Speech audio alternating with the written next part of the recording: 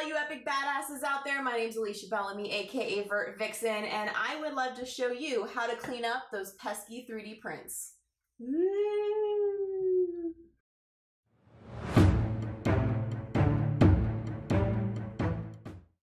3D printing has become a household staple for many prop builders and cosplayers like myself. But how do you go from raw PLA to hopefully some legit looking armor? Well, let me show you how I assemble and clean up my 3D prints. Today, we're gonna be assembling some calf armor from Garrison. So sadly, my printer isn't large enough to print a whole piece of armor, so I had to slice the calf into several smaller pieces. First, we have to remove all of those pesky supports. Even though they're needed during the printing process, they need to go immediately. To remove the supports, I use giant ass pliers, tiny little jewelry pliers, and as many metal files as I can fit on my desk. Let's enjoy my epic struggle while I tell you what supports are. Simply put, a 3D print is created layer by layer, and as the piece grows, supports will need to be printed to support the pieces of the print that may defy gravity. Are you all ready for the most exciting part of this video? Sanding! That's right, surprise! There is a ton of sanding involved in this process. Start off by sanding these suckers with 120 grit sandpaper and remove as many of those pesky lines as possible. Okay, so we can finally glue these pieces together. But you know what's just as important as the glue is the zip kicker. And if you don't know what zip kicker is, it instantly cures the super glue, making gluing a million times easier. But super important note, the zip kicker may give an instant cure, but the super glue will not come to a full cure for 24 hours. So glue wise, I use something called Instacure Hobby Glue. It is one of my favorite things, and it was introduced to me from the infamous Gary Cal, aka Beer Money Props. And speaking of awesome friends, I learned a nifty little trick from my friend over at Macro Creative that I call the peg and hole system. Creative. I modeled my pegs and the holes using Autodesk Meshmixer.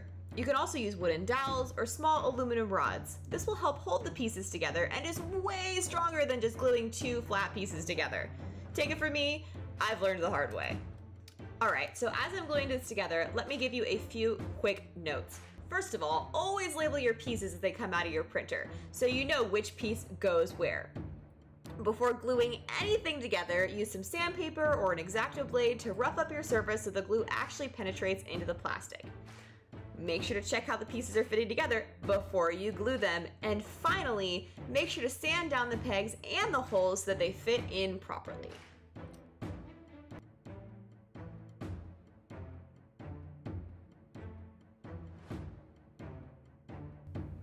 All right, it looks like everything is fitting together properly, so it's time to put some glue in those holes and all over that flat piece.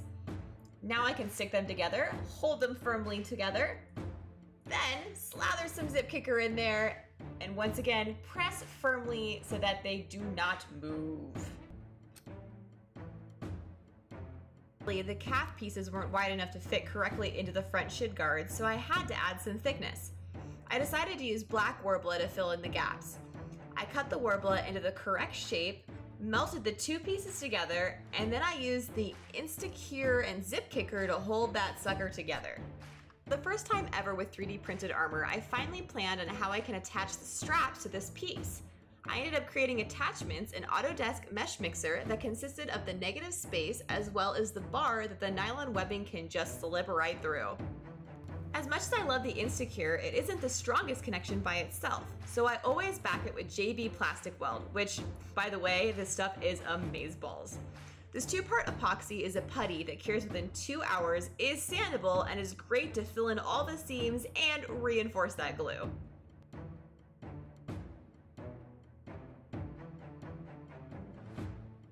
We also have to fill in all the seams in the front, and for PLA, I love Spot Putty Bondo. Like regular Bondo, this sucker is two parts, but it is super thick consistency, so it's perfect for those pesky seams. Also, alternatively, you can try acryl green. I've been using that a lot recently, and I also like it.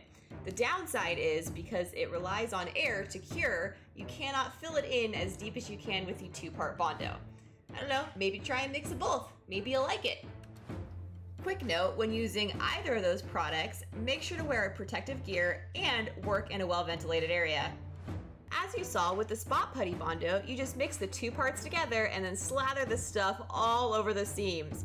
It's ready to sand in 20 minutes and sands really well. So I like to make sure that everything is filled. Guess what guys? It's sanding time again! Woo! Party! To sand down the epoxy and the Bondo, I like to mix between 80 grit and 120 grit. Once again, make sure you are wearing your proper safety gear. Bondo and acrylic green dust is no bueno. Remember how I slathered all those seams with epoxy and Bondo? Yeah, this back part actually needed a seam, so I hit it pretty hard with the Dremel. But be careful, the Dremel can melt the plastic, so make sure to only use it on the Bondo and the epoxy. Let's prep these guys for painting. So Bill from Punished Props showed me this epic trick. Just take a scrap piece of foam, shove a wire in it, and glue it to the back side, and now you can hang your pieces for spray painting. Now remember, let the glue cool a little bit before placing it on your 3D print or else you may melt it. And now it's time for the crazy long layering process. My favorite filler primer to use is Dupli-Color Filler Primer. Legit, this stuff is amazing. But now we layer and sand, layer and sand. For the filler primer, I like to use 180 grit automotive sandpaper, and I do about three layers of the filler. Now, as of recently, I have discovered the 2-in-1 filler primer by Dupli-Color, thanks to Eric from Geek Creations. I like to use this stuff for the first two layers now, and then hit maybe only about one layer of filler primer after that. Saves me a little bit of time when it comes to sanding. Now we can finally use some regular primer. I use about two to three layers of the stuff depending. I sand the first layer with 220 grit, and for the final layers of sanding, I use 320 grit and I wet sand. Then we can apply the final layer of primer and we can paint. The wet sand is how you truly get that baby bottom smooth look. Thank you all so much for checking out my video on how I clean up my PLA prints. First of all, I want to give a special shout out and thank you to MatterHackers. They supply me with my 3D printing filament. It's the Pro PLA I've used on every project, and I highly suggest that you give it a try if you're looking to try some PLA. It sands beautifully. Just saying. Anyways, if you have any questions, please leave them in the comments below. Also, all of the items that I've used in this video will be down in the video description, so if you're interested in purchasing the same thing, you can do that there. Finally, I do things on other platforms. Woo! I stream live on Twitch. So if you ever want to check me out on Twitch, that's twitch.tv slash vertvixen. Check me out on Facebook, facebook.com slash Alicia Cosplay, and finally on Twitter and Instagram, it's at vertvixen. Anyways, you guys are amazing. Thank you so much for your continued support. I love you. This is Alicia Bellamy, aka Vert Vixen. Make sure, finally, one more thing, hit the subscribe button. I got tons more videos coming. Lots on 3D printing, armor building, armor cleanup, painting, and I'm doing a whole series on the Fury build I'm doing. So make sure to check that out, guys. Once again, love you, thank you for everything, and I'll see you later.